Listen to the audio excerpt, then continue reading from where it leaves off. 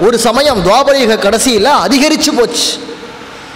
எங்க பார்த்தாலும் ஒரே அசுரர்கள் ஒரே தைத்தியர்களாக இருக்கா? தாங்க முடியல. பூமிக்கு. பூமி தேவின்னு இருக்காளே அந்த பூமி தேவிக்கு சகிக்கல பாரம்.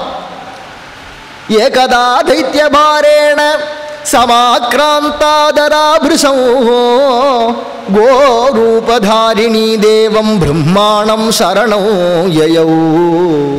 ஒரு சமயம் பூமி தேவி பாரம் தாங்க முடியாமல் பிரம்மலோகம் போனா. ஒரு பசுமாடு ரூபத்தில் போய் பிரம்மலோகத்தில் பிரம்மா கிட்டக்க போய் கேட்குறா ஹே பிரம்மா லோகத்தில் எல்லா சிருஷ்டியும் நீர் தானே பண்ணுறீர் சிருஷ்டி பண்ணுறச்சே சாதுக்களாக பார்த்து நல்லவாளா பக்திமான்களாக நீ சிருஷ்டி பண்ண மாட்டீரா? எங்கே பார்த்தாலும் வரும் ஒரே அசுரப்பிராயமாக சிருஷ்டி பண்ணிட்டே இருக்கீரே அப்படின்னு ப- பிரம்மாவை கேட்குறா பூமி தேவி. உடனே பிரம்மா சொன்னார் அம்மா நான் வெறும் கருவி தான். அகம் யந்திரோ நான் வெறும் கருவி. எனக்குழுக்குள்ள க- யந்திரியாக இருந்து இயக்குபவனாக இருக்கிறது அந்த ஸ்ரீமன் நாராயணன். அவன் தான் எங்களுக்குள்ள சிருஷ்டிங்கிறத பண்ணுறான் நான் வெறும்னா உட்காந்து உலகத்தெல்லாம் படைக்கிறார் பிரம்மா உலகத்தெல்லாம் படைக்கிறார் பிரம்மான்னு புகழ் தான் எனக்கு. செய்யறது போகிறோம் அந்த மகாவிஷ்ணு தான். அப்படி இருக்கிறதுனால அவர் ஏதோ சங்கல்பிச்சிருக்கார் இப்படி லோகத்தில் அசுரமயமாக சிருஷ்டி ஆறுது. அதனால நேரம் நம்ம திருப்பார்கடலில் போய் பகவான்கிட்ட பிரார்த்தனை பண்ணிப்போம் அப்படின்னு பிரம்மா சொல்லி அந்த பூமி தேவியை முன்னிட்டுண்டு பிரம்மா மற்ற தேவர்களோட போறார் பார்க்கடலுக்கு. சாக்ஷாத் பிரம்மா இந்த அண்டத்துக்கே ஒரே நாயகனாக இருக்கக்கூடிய அண்டாதிபதியாக இருக்கிற பிரம்மா நேர திருப்பார்கடலுக்கே போய் பகவானை ஸ்தோத்திரம் பண்ணுறார் இருந்தாலும் பகவான் காட்சி கொடுக்கலை. பிரம்மாவனுடையதான ஹிருதயாகாசத்தில் அசரீர வாக்காக உருவம் தெரியாது. குரல் மட்டும் கேட்குற மாதிரி அதுதான் அசரீர வாக்குன்னு பேர். அப்படி அசரீரமாக பேசுகிறான் ஹே பிரம்மன்னு லோகத்தில் நான் அவதாரம் பண்ண போறேன். வசுதேவருக்கும் வசுதேவ கிருஹே சாட்சாத் பகவான் பூதபாவனஹா. அந்த பகவானாகிய ஸ்ரீமன் நாராயணனாகிய நான் வசுதேவருக்கும் தேவகிக்கும் எட்டாவது குழந்தையாக பிறக்கப் போகிறேன் ராமாவதாரத்தில் எப்படி நீங்கள் எல்லாரும் எல்லா தேவர்களும் லோகத்தில் கரடிகளாகவும் குரங்குகளாகவும் அவதாரம் பண்ணி காத்துட்டு அதுபோல் இப்போவும் நீங்கள் காத்துட்டு லோகத்தில் நீங்கள் எல்லாரும் இப்போ யாதவர்களாக அவதாரம் பண்ணுங்கோ? நான் யாதவ குலத்தில் அவதாரம் பண்ண போகிறேன் அப்படின்னு பகவான் சொல்லிவிட்டானோ இல்லையோ? அதை பிரம்மா எல்லாருக்கும் சொன்னார் தேவர்களுக்கெல்லாம். அந்தந்த தேவர்கள் பூமியில் வந்து பிறந்து காத்துன்னு இங்கே பார்த்தா எங்கே திரும்பினாலும் அசுரர்கள் அகாசுரன் பகாசுரன் கம்சாசுரன் அதே போல் நரகாசுரன் பானாசுரன் எங்கே பார்க்குற இடமெல்லாம் ஒரே அசுரர். தாங்க முடியல தர்மம் நிலைக்க மாட்டேங்கிறது. தர்மம் பண்ணுறவாள் எல்லாரையும் கெடுக்கிறா. சாதுக்கள் எல்லாம் ஹிம்சை பண்ணுறா அதுவும் உலகத்தில் இருக்கிறதான எல்லா அசுரர்களுக்கும் ஒரே தலைவனாக விளங்கினவன் கம்சன் அப்படிங்கிறவன். இவன் யாதவ குலத்தை சேர்ந்தவன்.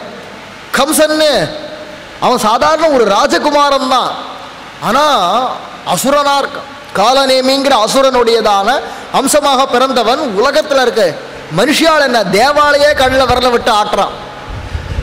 அடிக்கடி தேவாலோட யுத்தத்துக்கு போவான். யுத்தம் பண்ணால் அவள் திணறி அடிச்சுட்டு தாக்கு பிடிக்க முடியாமல் புறமதிக்கிட்டு ஓடுறான். முக்த கச்ச சிகா கேச்சித் பீதாஸ்ம இதிவாதினஹா. எல்லாரும் கச்சம் அவிழ்ந்தது தெரியாமல் குடுமி அவிழ்ந்தது தெரியாமல் ஓடுறாளாம். ஏன்னா இவன் கொடுக்குற அடி. தப்பிச்சவன் பொழைச்சவன் போகிறோன்னு ஓடுறா எல்லாரும். அவ்வளவு பயங்கரமாக கொடுங்கோல் ஆட்சி பண்ணிட்டு இருக்கான் கம்சன். இந்த கம்சனுடையதான அப்பாவுக்கு உக்ரசேனர் அப்படின்னு பெயர். இப்போ மதுரா அப்படின்னு சொல்கிறோமே அந்த மதுராவில் இவ தான் ராஜாவாக இருந்தார் உக்ரசேனர் அப்படிங்கிறவர் தான் ராஜாவாக யாதவ ராஜாவாக இருந்தார். அவருக்கு புள்ளதான் இந்த கம்சன்? ஆனால் அந்த கம்சனும் ஏண்டாப்பா நல்லவாழலாரும் இப்படி ஒரே ஹிம்சை பண்ணுற அப்படின்னு அவன் அப்பா கேட்டார். என்னையே எதிர்த்து கேள்வி கேட்குறியா? யாரங்க? உடனே எங்கள் அப்பனை சிறையில் போடு. அப்படின்னா அப்பாவை ஜெயிலில் போட்டான். அவ்வளோதான் எழுத்து யாருமே கேட்க முடியாது.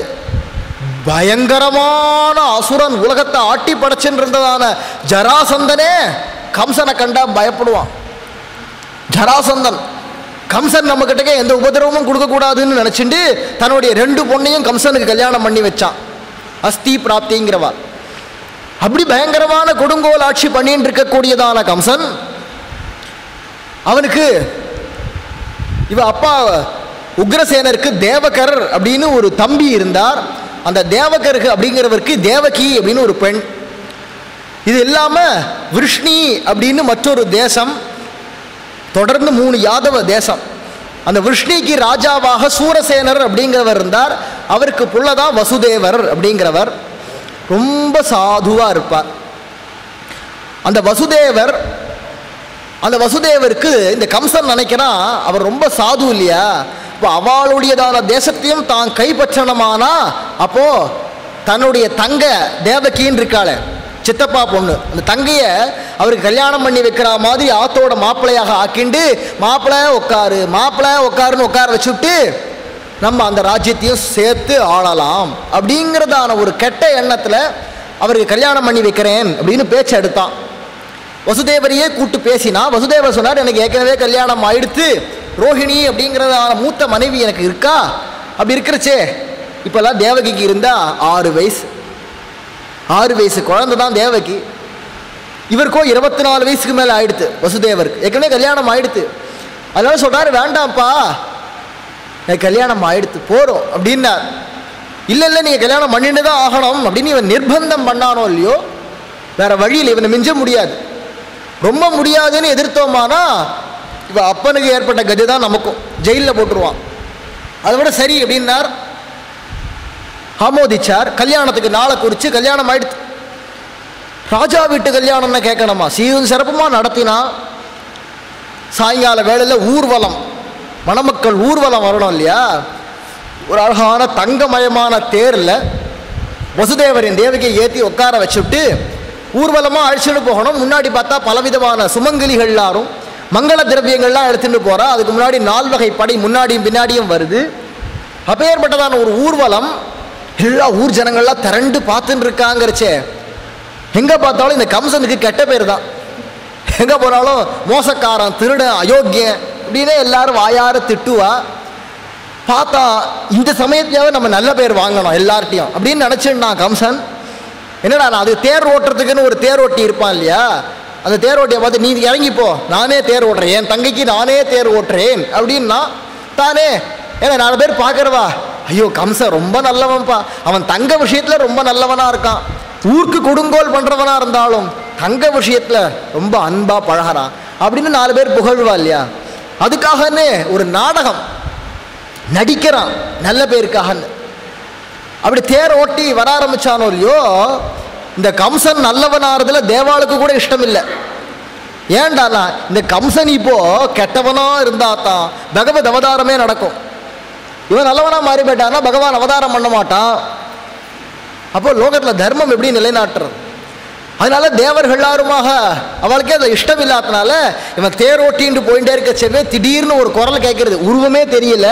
ஒரு அசரீர வாக்கு. என்னன்னா ஹே முட்டாள்!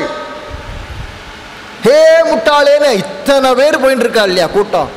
நடுப்புற திடீர்னு ஏ முட்டாளேன்னு குரல் கேட்டா எவன் திரும்புறானோ அவன் தானே முட்டாள். நல்ல கிளீனாக காதில் விழுறது முட்டாளேன்னு. அப்புறம் ஒருத்தன் திரும்பி பார்ப்பான் அண்ணன் அத்தனை ஜனங்களும் போயிட்டே இருக்கா? எல்லார் காதிலையும் தான் விழுறது ஹே முட்டாள்னு. ஒருத்தர் கூட திரும்பல. ஆனா இந்த கம்சம் மட்டும் ஆ யாரு? யார் என்ன கூப்பிடுறா? அப்படின்னா அவனுக்கே தெரியுது தான் முட்டாள்னு. உடனே அந்த அசரீர வாக்கு கேட்டு சொல்றது ஹே கம்சா எந்த தங்கைய ஆசை ஆசையா நீ தேர்ல ஏத்தி அடிச்சுன்னு போறியோ? அந்த தங்கைக்கு பிறக்கக்கூடியதான எட்டாவது குழந்தை உனக்கு யமன்.